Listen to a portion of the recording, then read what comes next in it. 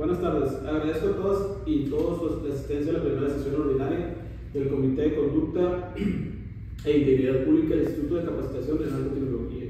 Agradecemos su asistencia y atención a la convocatoria realizada el pasado 26 de febrero de los, a los presentes. Eh, me permito solicitar a la secretaria técnica, la licenciada Isabel García, directora de Declaración del ICAP, realice el pase de lista. Buen día a todas y todos quienes nos acompañan en esta primera Me voy a permitir pasar lista y por favor hacer uso de la voz diciendo presente. Presidente, licenciado Christopher Herbert López. Presente. Vocal, eh, Claudia Guzmán Cardiel y en su representación nos acompaña su suplente Siria Jimena García Márquez. Presente. Y secretaria técnica, su servidora, presente, Isabel García. Eh, me permito informar que una vez realizado el pase de lista de esta sesión y toda vez que contamos con quórum legal, tomamos válidos todos los acuerdos que se tomen en la presente sesión. Me permite, eh, a continuación solicito a la secretaria técnica leer el orden del día y en su caso aprobación de la misma. Muy bien. Eh, como punto número uno, dentro del orden del día tenemos lista de asistencia y declaración de quórum legal. Número dos, lectura y aprobación o modificación en su caso del orden del día. Número 3. Seguimiento a los acuerdos adoptados en la cuarta sesión ordinaria de fecha 15 de diciembre del 2023. Número 4. Lectura y aprobación en su caso y firma del acta de la cuarta sesión ordinaria de fecha 15 de diciembre del 2023. 5. Presentación y en su caso aprobación del Plan Anual de Trabajo 2024. 6. Asuntos generales. 7. Lectura de los acuerdos tomados y 8. Clausura de la sesión. Se somete a consideración de los presentes la aprobación del orden del día por lo que solicito a la secretaria técnica hacer el pase de lista para la votación respectiva. Presidente, Christopher. A favor. Vocal, Siria Jimena García Márquez. A favor. Y su servidora, eh, a favor. Por unanimidad de los presentes, eh, me permito informar que se queda aprobado el orden del día de la primera sesión ordinaria. Siguiendo con el orden del día, en el punto número 3, seguimiento de acuerdo a los acuerdos adoptados en la cuarta sesión ordinaria de fecha del 15 de diciembre del 2023, solicito a la Secretaria Técnica de lectura los acuerdos. Muy bien. Como único acuerdo eh, durante la tercera sesión ordinaria, perdón, de la cuarta sesión, eh, tenemos eh, el acuerdo que queda por, eh, aprobado por unanimidad el orden del día de la cuarta sesión ordinaria del Comité de Conducta e Integridad Pública. Este está cumplido ya que se cuenta con la, el acta de la cuarta sesión ordinaria debidamente firmada.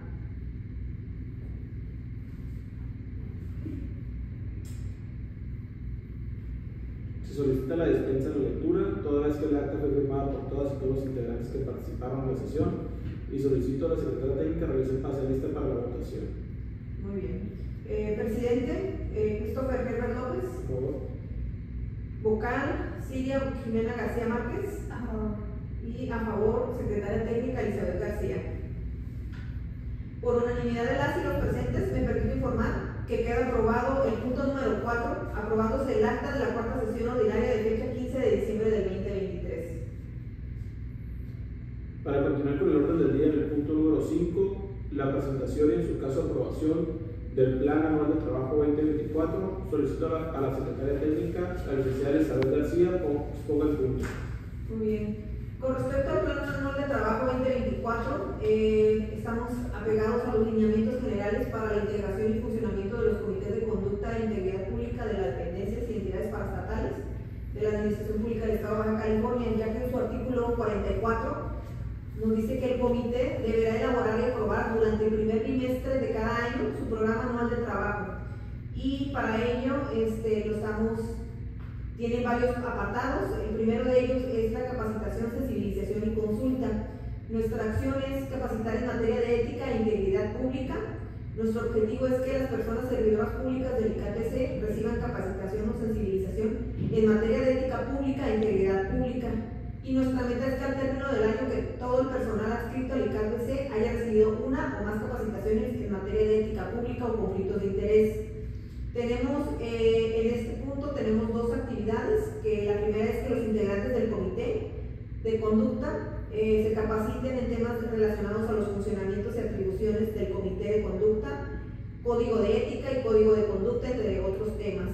Tenemos para esta fe, para el inicio, desde el 1 de febrero del 2024 al 10 de diciembre para llevar a cabo esta acción y nuestros mecanismos de verificación pues serían la convocatoria, una captura de pantalla del curso que fue tomado.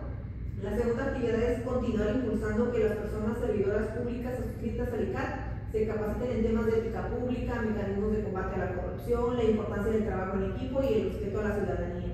De igual manera, tenemos una fecha, fechas plazos, eh, iniciando desde ya al 10 de diciembre del 2024. Y pues el mecanismo de verificación sería una constancia o captura de pantalla.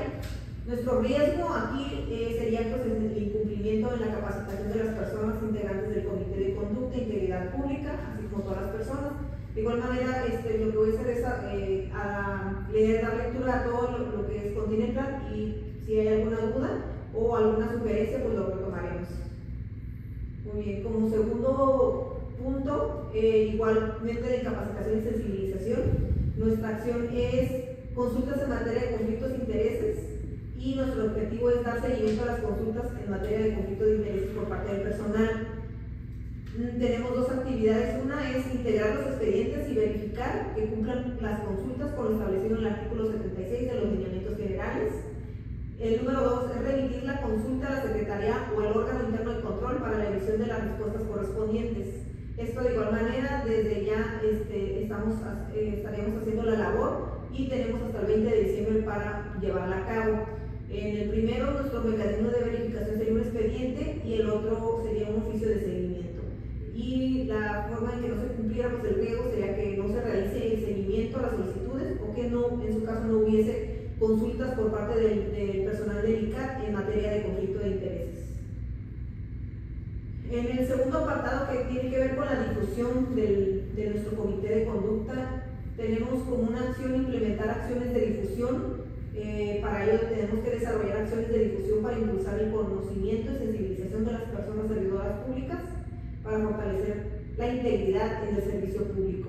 Tenemos dos actividades en este apartado. Una es actualizar el espacio en la página www.ictc.gov.mx para la publicación de información correspondiente al Comité de Conducta, la cual ya tenemos un espacio dentro de, nuestro portal, sin embargo debemos de estar actualizando. La primera actualización que vamos a hacer es el directorio, el directorio del comité que este, será actualizado y nuestra fecha de inicio y fin pues tenemos desde el 2 de enero al 10 de diciembre, ¿no? Para estar actualizando este portal. Y para los mecanismos de verificación, pues sería la captura de pantalla de la página institucional, revisar el link, ¿no? Y la segunda es difundir contenido sobre la ética pública, código de ética y código de conducta en materias afines. Aquí sería continuar, este, tenemos algunas publicaciones algunas, este, algún material que hemos estado difundiendo en las instalaciones del ICAT sería seguir con, ese, con esa misma labor y pues, el mecanismo de verificación sería las copias de contenido. De igual manera, tenemos hasta el 10 de diciembre para darle difusión a todo este tipo de material que permita conocer a, los integrantes de, del ICAT, al, personal, cuáles son, eh, cuáles son los temas relacionados a comité de conducta.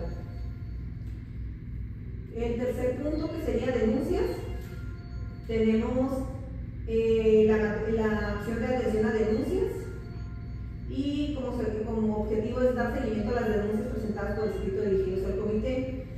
Aquí, por ejemplo, el año pasado no tuvimos ninguna denuncia presentada al comité, eh, ya sea por medio, por medio del comité o a, través del buzón de quejas y sugerencias que tenemos instalado en el ICAT. Entonces tenemos tres actividades básicas para las denuncias. Uno es si en dado caso que lleguésemos a tener denuncias, tenemos que crear un expediente físico y digital, sesionar el comité para analizar la denuncia y tres, de ser procedente, se dará notificación al órgano interno de control. Estas son las actividades dentro de las denuncias, de la atención de denuncias que se debe de implementar. Igual tenemos hasta el 10 de diciembre para dar seguimiento y tenemos medios de verificación que son un expediente, una acta de la sesión del comité y oficio de conocimiento de denuncia sería la cuatro, que es gestión. Este es otro apartado que nos piden que contenga el plan anual de trabajo. Y tenemos que debemos de cumplir eh, cumplimiento general del comité de conducta. Tenemos como objetivo realizar las actividades administrativas inherentes al comité.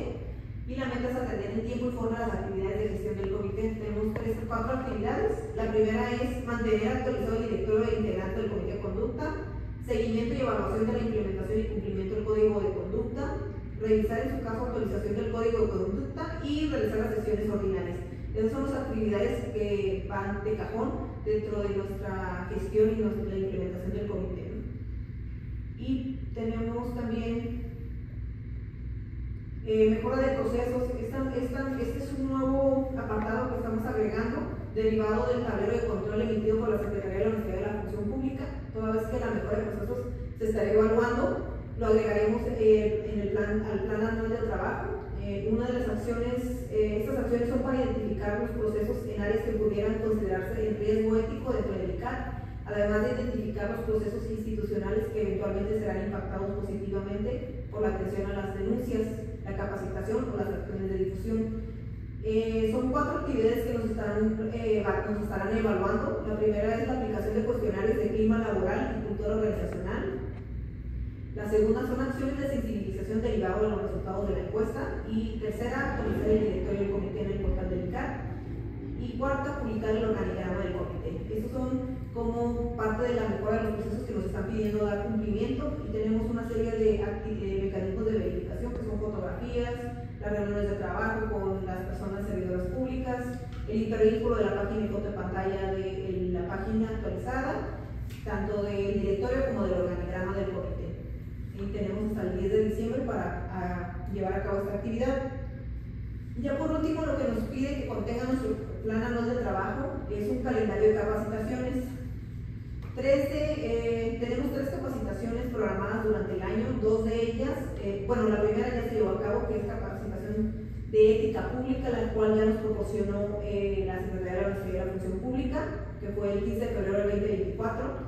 La segunda es Mecanismos de Combate a la Corrupción, que está programada para el 12 de marzo del 2024 y la cual también será impartida por la Secretaría de la Función Pública. Y tenemos la capacitación de código, el código de conducta para el 14 de junio del 2024. Estaremos eh, revisando de igual manera si habrá alguna otra capacitación que podamos sumar a este, a esta, este calendario de capacitaciones y poder dar cumplimiento al, al, al, control, al tablero de control que nos están auditando próximamente. Eso es en cuanto a la, al plan anual de trabajo. No sé si tengan alguna duda o este, manifestar. Muy bien. Entonces pasamos a la votación, presidente. Una vez concluida la presentación, me permito someter a su consideración la aprobación del plan de trabajo del Comité de Conducta e Integridad del ICAT para este ejercicio fiscal 2024, por lo que solicito a la Secretaría Técnica realice lo conducente para la votación. Puede ser el pase de lista correspondiente, presidente, licenciado Christopher Ferrer López. A favor. Eh, vocal Silvia Jimena García Márquez. A favor. A favor, secretaria técnica Isabel García. Eh, por unanimidad de los y las presentes, me permito informar que queda aprobado el punto número 5, correspondiente al Plan Anual de Trabajo 2024 del Comité de Conducta e Integridad Pública del ICAPC. Una vez concluido con el punto, continuamos con los asuntos generales, para lo cual solicito levantar la mano para solicitar la participación en el caso de que se tuviera un tema a tratar. Eh, no habiendo solicitud del uso de la voz, eh, continuando con el orden del día, me permito solicitar la participación de la secretaria técnica de lectura a los, de acuerdo a los acuerdos celebrados. Muy bien. Primer acuerdo de la sesión ordinaria número, la primera sesión ordinaria 2902-2024, se aprueba por unanimidad el orden del día de la primera sesión ordinaria del Comité de Conducta e Integridad Pública del ICATC el acuerdo número 2 se aprueba por unanimidad el acta de la cuarta sesión ordinaria de fecha 15 de diciembre del 2023. Y por último, el acuerdo número 3 se aprueba por unanimidad el plan anual de trabajo del Comité e Integridad Pública del ICAPC. Eso es en cuanto a, los, la lectura de los acuerdos. Si no se tiene ninguna observación, con la redacción de los puntos de acuerdo, hacemos su conocimiento que la minuta, lista de asistencia de la primera sesión ordinaria del Comité de Conducta e Integridad Pública se les compartirá para acabar las siglas correspondientes. Siendo, siendo las 2.36 horas del día 24, 29 de febrero del 2024, damos por clausurada la primera sesión ordinaria del Comité Conducta e Integridad Pública del Instituto de Capacitación en Alta Tecnología del Estado de Baja California.